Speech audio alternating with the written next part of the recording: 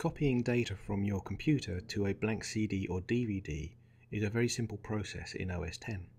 In this example, I'm going to be copying a number of files and folders that are stored on my desktop to a blank disk. The easiest method for copying these files to a blank disk is to first insert the blank disk into your Apple Mac computer. When the blank disk is detected by the computer, a dialog box appears. The computer is asking you which program you wish to use with the blank disk. In this case, we're going to use the default, which is Open Finder. We click OK, and you'll notice that an icon appears on your desktop called Untitled CD. We now highlight all of the files that we wish to copy to the blank disk, and then drag and drop them to the Untitled CD icon.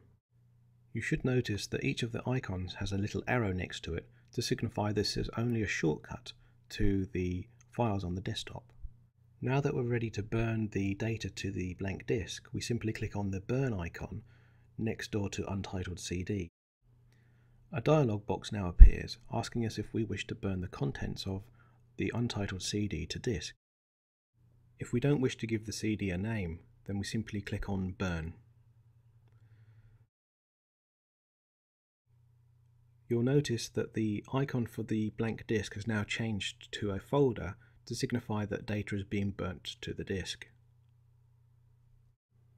The amounts of data that you're copying to the disk will dictate how long the disk takes to actually burn.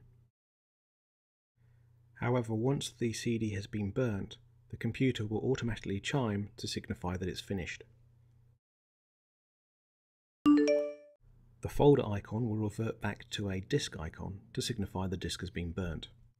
Finally, Open the newly created disk just to make sure you've copied all the data to the disk before ejecting it from your computer.